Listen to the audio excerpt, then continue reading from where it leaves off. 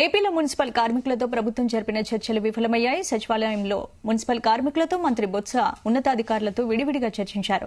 కనీస వేతనం ఇరవై ఒకటి వేల కంటే అదనంగా మరో మూడు వేలైనా పెంచాలని మున్సిపల్ కార్మిక సంఘాలు పట్టుబట్టాయి. అంతేకాకుండా గ్రాట్యుటీ ఇవ్వాల్సిందేనని మున్సిపల్ కార్మిక సంఘాలు కోరారు. అయితే జీతాలు ఇరవై నాలుగు వేలు పెంచేందుకు ప్రభుత్వం అంగీకరించలేదు. దీంతో సమ్మె కొనసాగుతుందని కార్మిక సంఘాల ప్రతినిధులు స్పష్టం చేశారు. రాష్ట్ర ప్రధాన కార్యదర్శి AP municipal workers and employees federation CIT అనుబంధ సంఘం అట్లాగే సిఐటి అనుబంధ సంఘ నాయకులతో పాటు ఏఐసిటియు నాయకులు ప్రసాద్ గారు తదితరులు ఉన్నారు. ఇప్పటివరకు ప్రభుత్వంతో గ్రూప్ ఆఫ్ మినిస్టర్స్ తోటి మున్సిపల్ కార్మికుల సమ్మె డిమాండ్ల మీద చర్చ జరిగింది. చర్చలు ఇంకా సంపూర్తి కాలేదు. మధ్యలో గ్రూప్ ఆఫ్ మినిస్టర్స్ అధికారులు మేము మాట్లాడుకొని వచ్చి చెప్తామని చెప్పారు. ఇప్పటి వరకు వాళ్ళు చెప్పినటువంటి ప్రతిపాదనలు శానిటేషన్ కార్మికులు ఎవరైతే ఉన్నారో వారికి ఇప్పటి వరకు చెల్లిస్తున్నటువంటి పదిహేను వేల రూపాయల జీతం ఆరు వేల రూపాయల హెల్త్ అలవెన్స్ కలిపి ఇరవై ఒక్క వేలుగా జీతం చెల్లిస్తామన్నారు. మేమైతే ఇరవై ఒక్క వేలు బేసిక్ చేయటం అనేది హర్షణీయమైనప్పటికీ కానీ రెండేళ్ళుగా ఇస్తున్న దాన్నే కొత్తగా ఏమి ఇవ్వకుండా దీన్నే ఇస్తామని చెప్పడం కరెక్ట్ కాదు. కాబట్టి వాళ్ళకి ఒక నెల బోనస్ ఇవ్వండి అని అడిగాం ప్రతిపాదించాం. నెల బోనస్ కాకపోతే ప్రతి నెల రెండు వేలు మూడు వేలు జీతం పెంచండి. అప్పుడే మేము మాత్రం దీన్ని అంగీకరిస్తామని చెప్పాం. అది కుదరదు అన్నారు. కుదరదు కాదు దీన్ని ఆలోచించాలి లేదా బోనస్ అనే మందని అట్లాగే జీవో నంబర్ మొన్న ఒకటి ఇచ్చారు ఒకటో తారీఖు.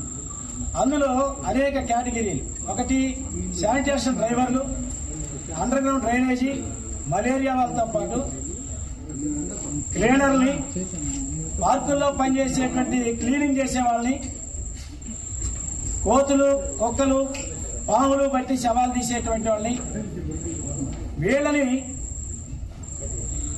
దీని పరిధిలో తెస్తామని చెప్పారు ఆరు వేలు ఇస్తామన్నారు దాని ప్రకారం యూజీడీ కార్మికులకి శానిటరీ డ్రైవర్లకి పద్దెనిమిది వేల ఐదు వందలు ప్లస్ ఆరు వేల రూపాయలు కలిపి ఇరవై నాలుగు వేల ఐదు వందల రూపాయలు జీతం చేయడానికి బేసిక్గా అంగీకరించారు దాని వరకు.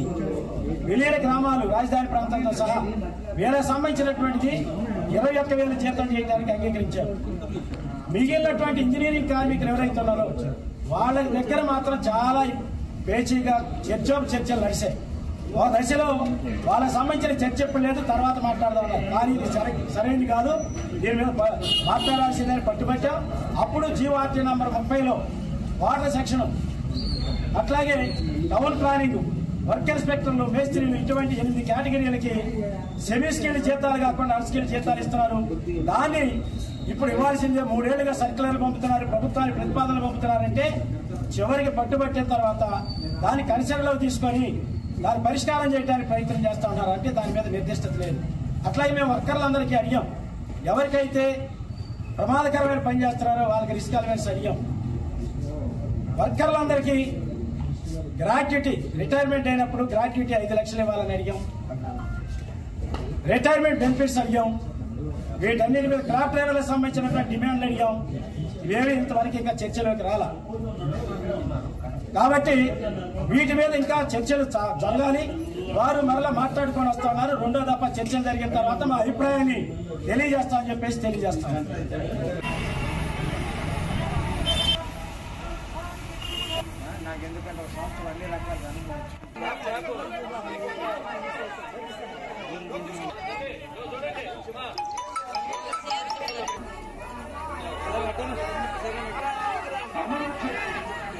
ఏపీలో మున్సిపల్ కార్మికులతో ప్రభుత్వం జరిపిన చర్చలు విఫలమయ్యాయి. సచివాలయంలో మున్సిపల్ కార్మికులతో మంత్రి బొత్స జరిపిన చర్చలు విఫలమైనట్టు కూడా తెలుస్తోంది. ఇందుకు సంబంధించి పూర్తి అప్డేట్స్ మా ప్రతినిధి రామకృష్ణ అందిస్తారు. రామకృష్ణ.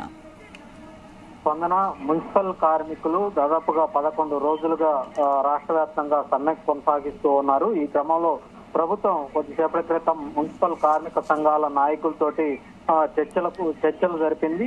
మంత్రి బొత్స సమక్షంలో అటు అధికారులు ఇటు కార్మిక సంఘాల నాయకులతో చర్చలు కొనసాగించారు. ఈ చర్చల్లో కొన్ని డిమాండ్లను ప్రభుత్వం అంగీకరించింది. అయితే ప్రధానంగా అన్ని కేటగిరీలకు సంబంధించినటువంటి కార్మికులకు హెల్త్ అలవెన్స్లు అనే పేరు లేకుండా మొత్తం వేతనంగానే చెల్లింపు చేస్తామని ప్రభుత్వం చెప్పింది. అయితే హెల్త్ అలవెన్స్లు ఆరు వేల రూపాయలను అందులోనే కలిపి వేతనంగా మొత్తం కలిపి వేతనంగానే ఇవ్వాలని ప్రభుత్వం నిర్ణయించింది. అయితే ప్రధానంగా ఈ ఈ అలవెన్సులు కూడా వేతనంలోనే కలిపి ఇస్తామని ప్రభుత్వం చెప్పటాన్ని కార్మిక సంఘాలు అంగీకరించడం లేదు. అలవెన్సులు సపరేట్గా వేతనం పెంపు సపరేట్గా ఉండాలని వాళ్ళు కోరుకుంటూ ఉన్నారు. అదే క్రమంలో పారిశుద్ధ్యం పనిచేసే కార్మికులకు వేతనం పెంచమని డిమాండ్ చేస్తే ఇప్పుడు వేతనంలో అలవెన్సులు కూడా కలిపి ఇదే సరిపెట్టుకోవాలని ప్రభుత్వం చెప్పడాన్ని వాళ్ళంతా కూడా తప్పుపడుతూ ఉన్నారు.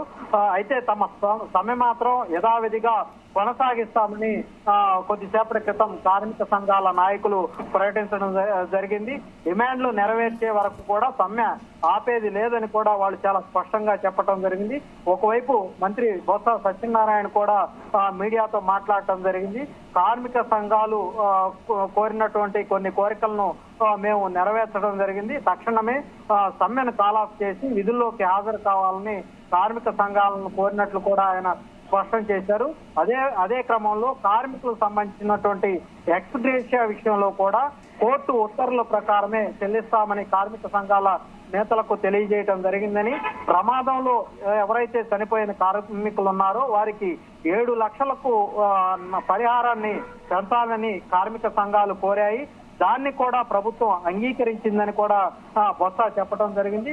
మరికొన్ని డిమాండ్లు కూడా మంత్రుల కమిటీ అంగీకారం తెలిపిందని తక్షణమే సమ్మెను విరమించి విధుల్లోకి హాజరు కావాలని బొత్స సత్యనారాయణ కార్మిక సంఘాలకు తేల్చి చెప్పారు. అయితే మొత్తానికి చూసుకున్నట్లయితే గత పదకొండు రోజులుగా కార్మిక సంఘాలన్నీ కూడా అటు మున్సిపల్ కార్మికులంతా కూడా సమ్మె కొనసాగిస్తా ఉన్నారు. ఇప్పటికే రాష్ట్ర వ్యాప్తంగా కూడా అన్ని మున్సిపల్ మున్సిపాలిటీల్లో కార్పొరేషన్లో వీధుల వెంట చెత్త మొత్తం పేరుకుపోయినటువంటి పరిస్థితి. పారిశుద్ధ్య సమస్య తలెత్తే అవకాశం ఉన్న నేపథ్యంలో ప్రభుత్వం ఒక అడుగు చొరవ చూపించి కార్మిక సంఘాలతోటి చర్చలు జరిపింది. అయినప్పటికీ కూడా కార్మిక సంఘాలు దాదాపుగా అన్ని అన్ని డిమాండ్లకు తలొగ్గింది. అయితే ఒకటి రెండు ఏదైతే వేతనం అలవెన్సులకు సంబంధించిన విషయంలోనే అటు కార్మిక సంఘాలకు ప్రభుత్వానికి మధ్య మధ్య కొంత గ్యాప్ ఉన్నటువంటి పరిస్థితి అయితే ఉంది. ఈ ఈ క్రమంలోనే అటు కార్మిక సంఘాలు మాత్రం ఎట్టి పరిస్థితుల్లో కూడా ప్రభుత్వం యొక్క అనుసరిస్తున్న విధానాన్ని మేము ఎట్టి పరిస్థితుల్లో ఒప్పుకోము. తమకు వేతనం పెంపుదల చేయాలి. దాంతో పాటు అలవెన్స్ కూడా చెల్లించాలంటూ వాళ్ళు పట్టు పట్టుబట్టి కూర్చోవటం జరిగింది. దీంతో కొంత గ్యాప్ అయితే నెలకొన్నటువంటి పరిస్థితి. అయితే శానిటేషన్ డ్రైవర్లు క్లీనర్లు మలేరియా ఫాగింగ్ చేసే వర్కర్లు పార్కుల్లో శానిటేషన్ సిబ్బంది వీళ్ళంతా కూడా ఆ, ఈ కోవలోనే చేర్చాలని అటు కార్మిక సంఘాల నేతలు డిమాండ్ చేయడం జరిగింది. ఆ డిమాండ్ కూడా అంగీకారం తెలపడం జరిగింది. అయితే మొత్తానికైతే చూసుకున్నట్లయితే మున్సిపల్ కార్మిక సంఘాల నాయకులతోటి ప్రభుత్వం జరిపిన చర్చలు విఫలమయ్యాయని చెప్పాలి.